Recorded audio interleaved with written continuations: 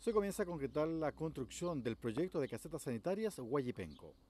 Un importante hito, lo que obra de gran magnitud se refiere, se realizó en el cementerio Huenchual.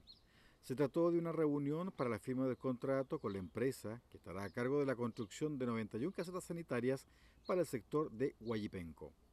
En la cita, la empresa López y Hernández asistieron dirigentes del sector, representantes de las familias beneficiadas, funcionarios municipales, que estarán a cargo del seguimiento del proyecto, que tendrá una duración de 10 meses para su total ejecución.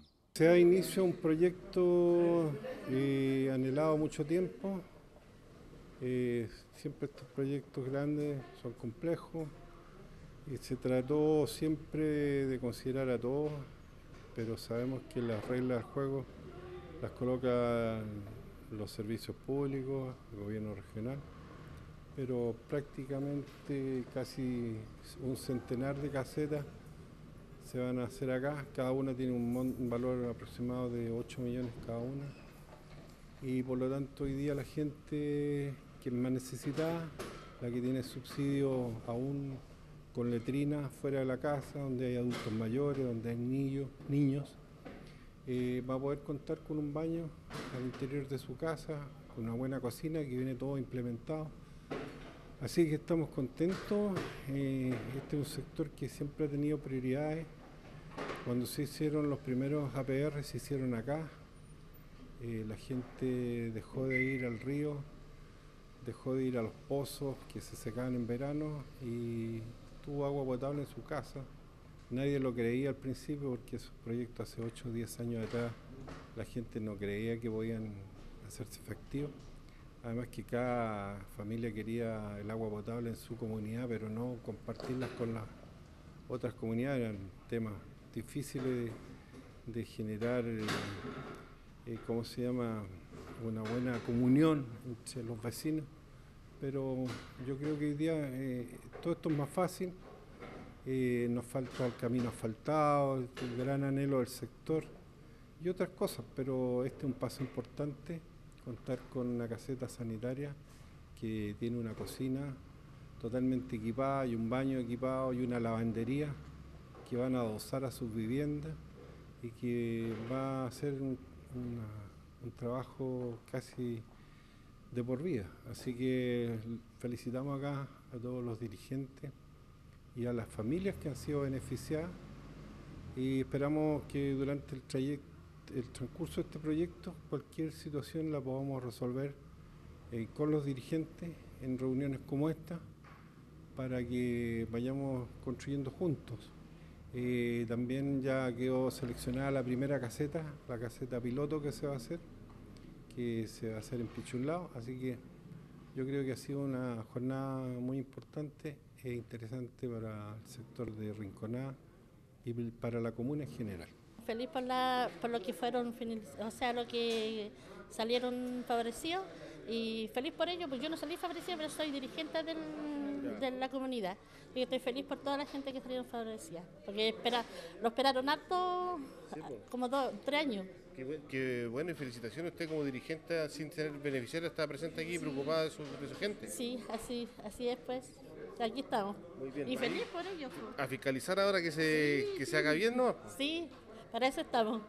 Oh, estamos felices, por pues, Dios quiera que salga todo bien, que nos acompañe el tiempo para que se realice luego este proyecto, porque es muy necesario para nosotros que somos del campo, no tenemos eh, baño, no tenemos una, tina, una ducha para bañarlo, así que para nosotros es una alegría tremenda que este proyecto haya salido aprobado pues, finalmente.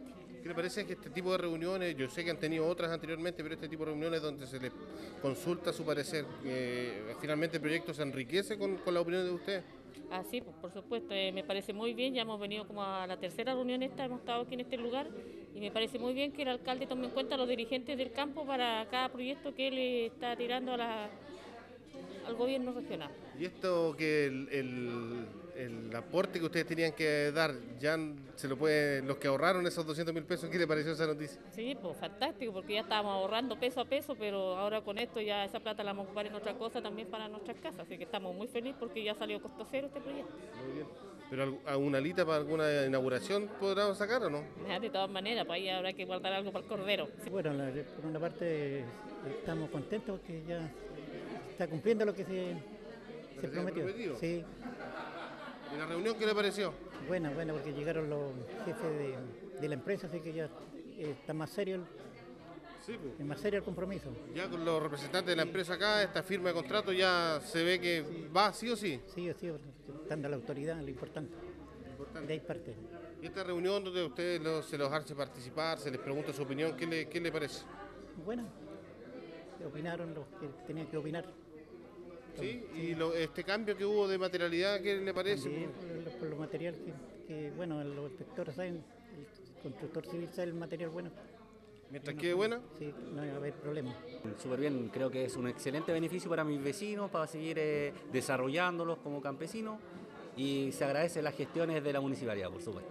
Esta instancia de participación donde ustedes pueden opinar también y dar sus inquietudes que, que seguramente se van a incluir en el proyecto, ¿qué, qué te parece?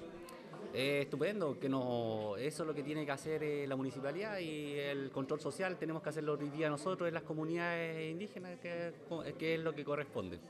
Este cambio de materialidad que, que se concretó ahora de, de madera que venía del proyecto a Metalcom, ¿qué te parece? No, estupendo. Eh, Creo que ahí tiene la gente para tener una caseta como corresponde por mucho más tiempo y años, así que no, excelente, súper. Excelente, pues yo, bueno, yo soy representante de mi esposa, mi esposa es la beneficiaria, pero siempre tengo que andar yo porque ella tiene algunas dificultades y, y excelente porque esto hace más de un año que se está esperando y, y qué quiere que le diga contento. pues. Muy bien. De todas maneras contento y gracias al municipio que ha, que ha participado y sobre todo con, con el aporte. Sí, el po. aporte, el aporte. Ahora, ¿qué le pareció esa noticia que el aporte ahora lo, lo puso el... es, es lo mejor, pues. son buenos pesos que sirven para otra cosa. Muy bien, para la inauguración. Sí, de todas maneras, pues, hay que hacer algo. Hay, algo hay que, hay algún bicho a caer. Claro, lógico, pues, hay que hacer algo aquí, entre todos, Sí, pues. ni un problema. Muy bien, felicitaciones. Listo, gracias, gracias a ustedes. Con esto, las familias beneficiarias contarán con una edificación de 16 metros cuadrados que comprende cocina, baño y lavandería con sus respectivos artefactos. Además, se informó que el aporte solicitado en un comienzo será cubierto por el gobierno regional, por lo que las familias que ahorraron ese dinero pueden disponer de él para otros gastos.